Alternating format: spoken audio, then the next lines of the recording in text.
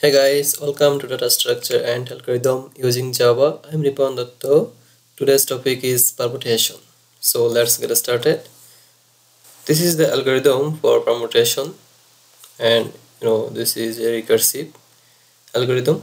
So algorithm permute prefix string s n equal s dot length if n equals 0 print otherwise for loop i equal to 1 to n permute again recursive call prefix plus si then string should be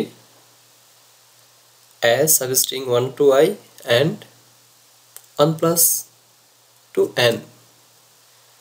So now I'm going to show you in details. Alright let's say our string is ABC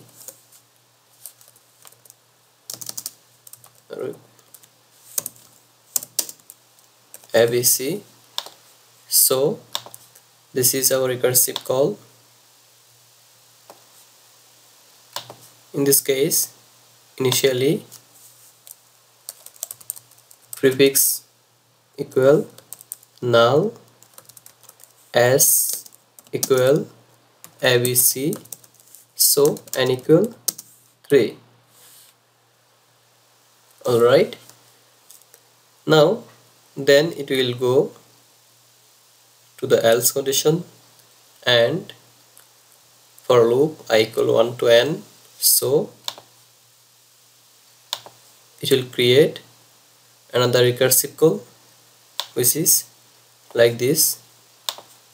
Let's say now prefix should be prefix plus s i. That means prefix equal prefix plus si that means s1 which is a. Then s equal 1 to i that means 1 to 1 there is no character and substring 1 plus 1 that means 2 to n that means bc alright so in that case n equal 2 and this is for i equal 1 alright then it will create another recursive call. Let's say this one. In this case prefix equal prefix plus s1 that means a s1 means b. So a b and s equal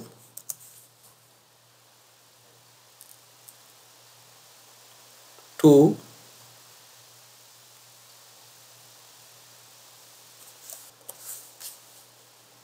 to n which is basically c. Because first one is b second one is 2 second one is c. Alright? So in this case n equal 1 and this is for i equal 1 then it will come here again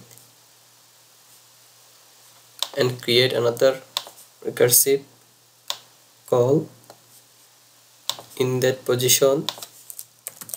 prefix equal.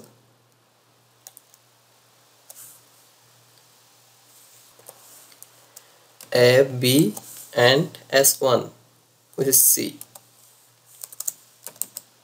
And S equal. 1 plus 1 that means 2 to n. That means empty. So now n equal 0 and i equal 1 then it will call again recursive call. Finally you can see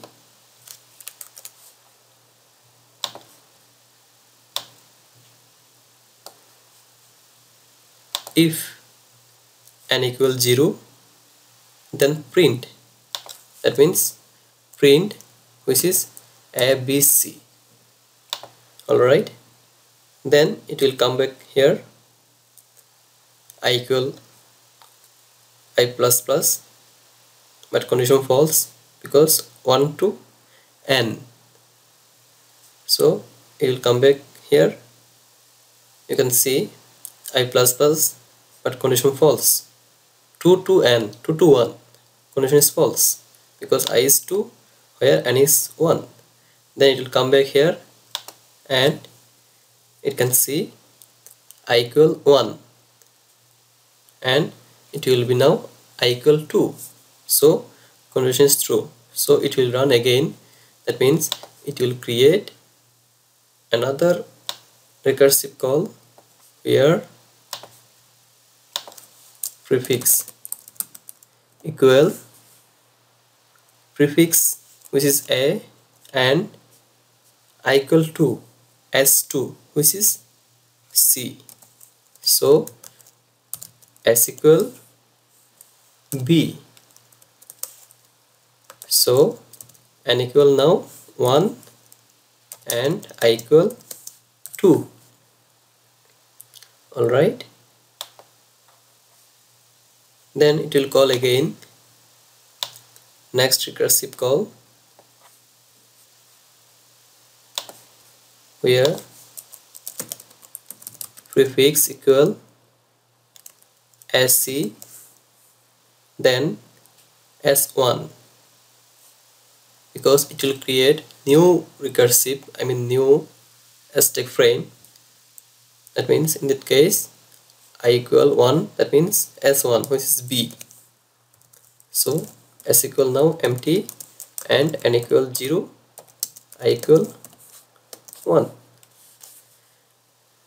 so finally as there is an equal 0 so it will print a cb alright? Then it will come back here i equal to condition false come back here i equal 3 condition false then come back here i equal now it was 2 now it will be 3 so right now condition is false. So it will come back here again in the in this position in position. First it was i equal 1 now it will be i equal 2 then it will create the same way another stack frame. That means another recursive call which will lead like this. It will be b then sc then it will be b ca then come back here again equal now 3 then it will create another stack frame or another recursive call where it will be C A B then C B A. So our total result will be like this. A B C this one then this one A C B then this one B A C BCA then CAB CBA so this is our expected result. Now let's get started with Eclipse. Alright file new project permutation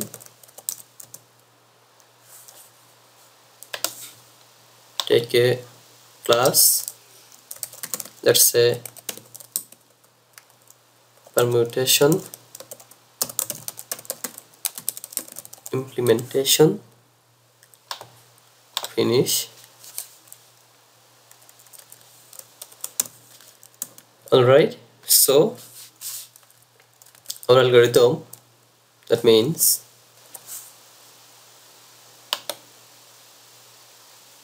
permute so public. Static void permute.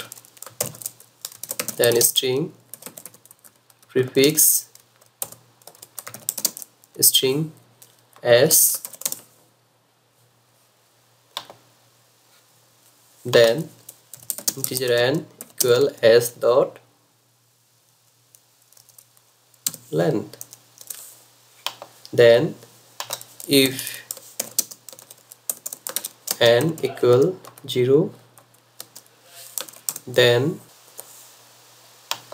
so sys out control space print prefix. Otherwise for i equal to integer i equal 0 to oops i less than n i plus plus as it is 0 based so it will be i less than n. Permute.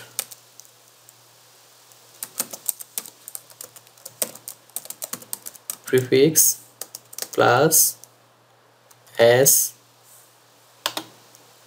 dot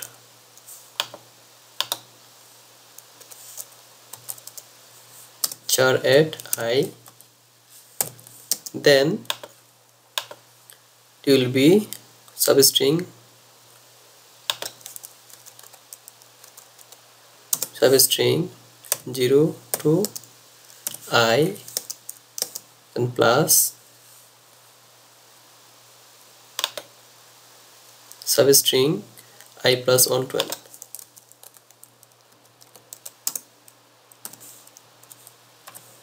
i plus 1 to n.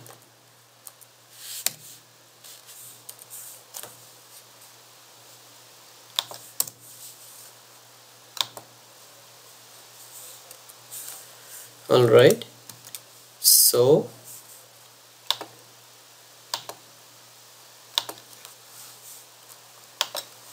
now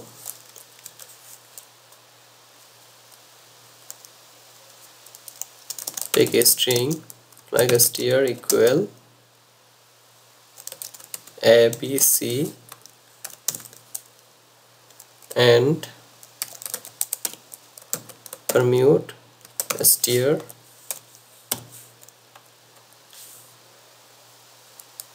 So we need to make another helper method. Private. Static void. Permute. It will call. Permute. Str initially prefix empty with str alright run the project. Yes this is our expected result. You can match with this. Alright so or you can debug the program. So you can easily get it. Press F11 then f5 again f5 you can see. N equal 3 it is creating another permute. Now empty. You can see. Prefix equal a where s equal BC like this way. Prefix equal A S equal BC then it will create another stack frame where prefix equal AB and S equal C. And see prefix equal AB S equal C. Then finally it will create one more stack where prefix equal abc s equal empty prefix equal abc s equal empty then it will print abc now you can see n equal now 0 so it will print abc yep alright then it will come back again. So again come back. Next level that means it will come back from here to there then from here to in this position. Then it will create the next one. So you can see now our prefix is SC and S is B. That means this one. Prefix is SC S equal B. Then again SCB and empty SCB then empty. And it will print SCB alright. Then it will come back to the in this position initial position. Then it will create another step for BSc and BCA then CAB then CBA you can see BSc then CAB CBA that's it. So this is the way how can you write permutation algorithm? I mean how can implement how to how to implement your permutation algorithm yep you can see